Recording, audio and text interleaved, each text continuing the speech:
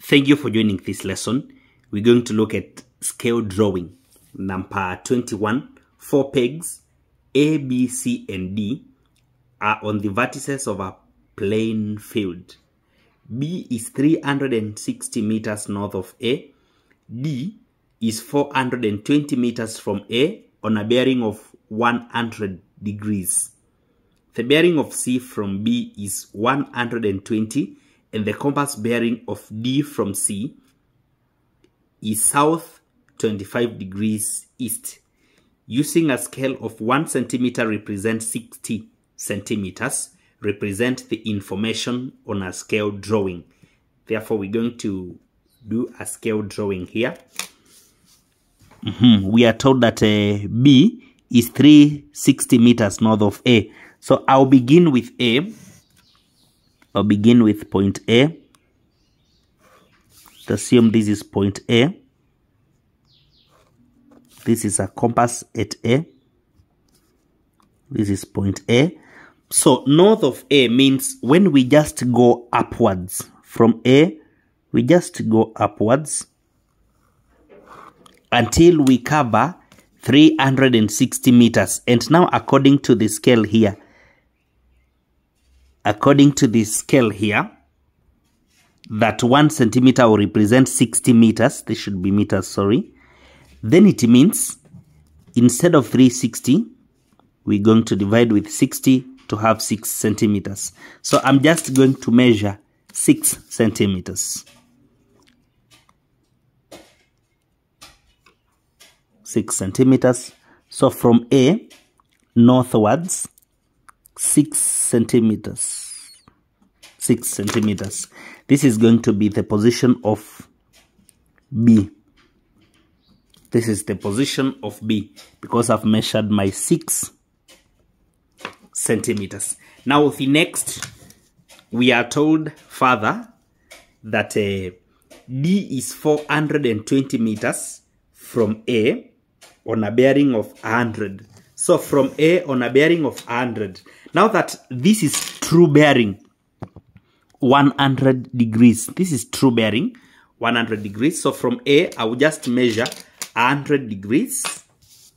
Measure 100 degrees. And strictly from the north towards the clockwise direction. That is what we call true bearing. From the north towards the clockwise direction. So from north in the clockwise direction, I measure 100.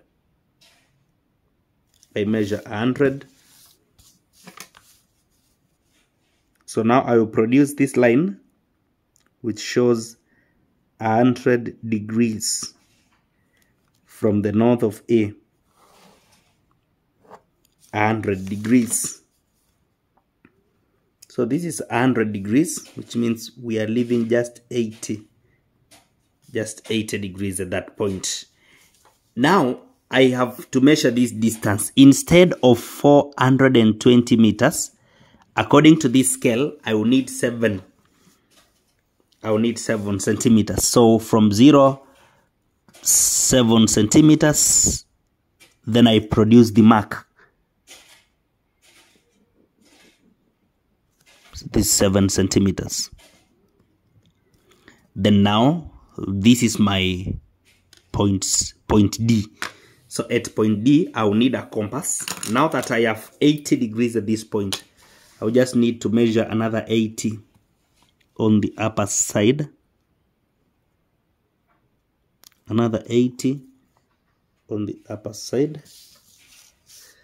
Then when I connect now with this 80, I'll get a very good north. Yes. Because I have 80 degrees here another 80 that will be a very perfect north. I'm continuing. Remember this is D. Finally we have the bearing of C according to information here. The bearing of C from B is 120 so I'll just need to measure 120 from B 120 degrees from B so at B, 120 degrees. That is a true bearing. So from the north clockwise direction, 120 120 therefore I produce I produce this line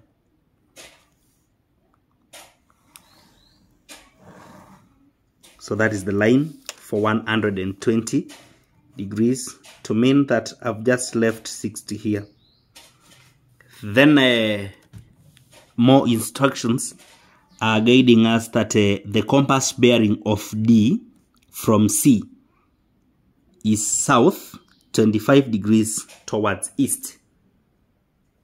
So from C, uh, the bearing of D from C, it should be noted that if for us to access D from C, we need to assume that uh, C is at a point here. Then for us to go to D, for us to go to D, we need from south, we measure 25 degrees towards east. Then we produce. That means if this is 25 degrees, we should have a 25 here. Now it means if the bearing of D from C is south towards east 25 degrees, then the bearing of C from D will now be from the north 25 degrees towards west. Therefore, it means now with these instructions, the bearing of C from D is from the north 25 degrees towards the west. Let me connect the two now. 25 degrees from the north towards the west. So while we are at D, we need 25 degrees from the north, 25 degrees from the north and towards the west. Just 25 degrees. And we produce the line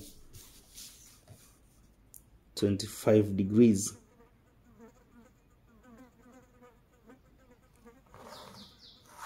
Yes that is the 25 degrees from north towards west from D. So that we may know where C is. That means for us to raise a compass here because we have measured a 25 here then at this point of intersection we will measure a 25 on the other side. We will just need a 25 on this other side. That means I will measure 25 exactly at this point. Then I produce now the compass. Now that I've measured 25 I produce the compass here. So this is going to be point C whereby this is a 25 now with the 25 there it can be understood that uh, from C to D it is from the south towards the east 25 degrees that is why I interpreted it and concluded that from D to C, we need from north 25 degrees towards west, according to the rough work here.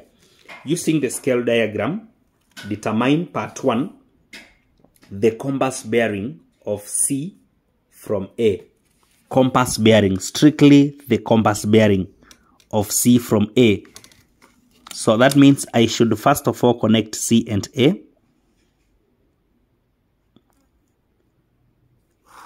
Yes. Now of C from A, it means we need the acute angle that connects C and A. or C from A. And that is the angle at this point. The angle is going to be, the angle is going to be 57 but now we are from the north and towards east.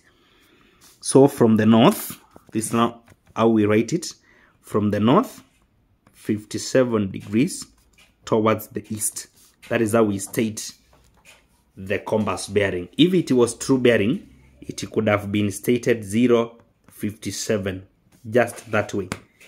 Just that way. But now we needed this. Again, the distance between C and D. The distance between C and D. So the distance between C and D should be measured from C to D. This distance from C to D.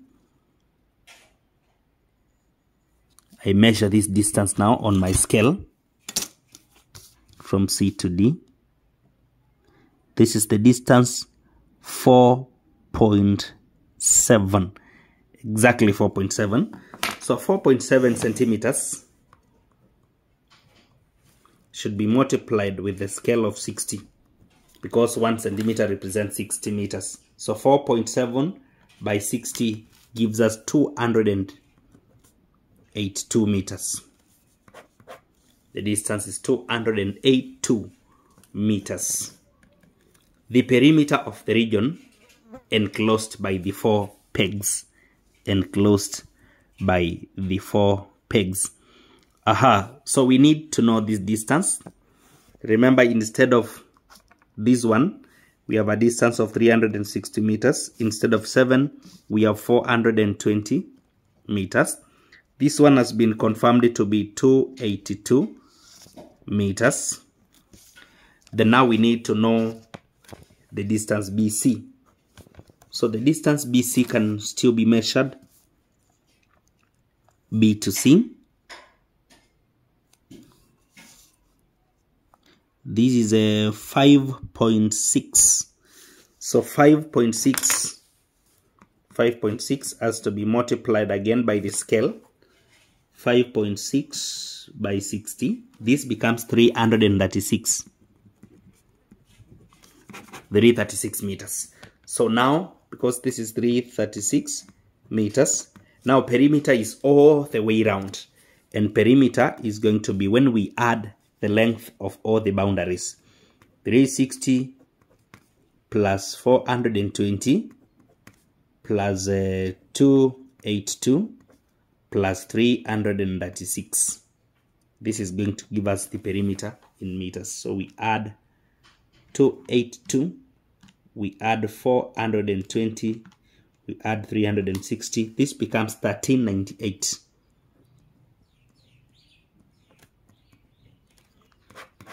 1398 meters so that is the perimeter of the region enclosed by the four pegs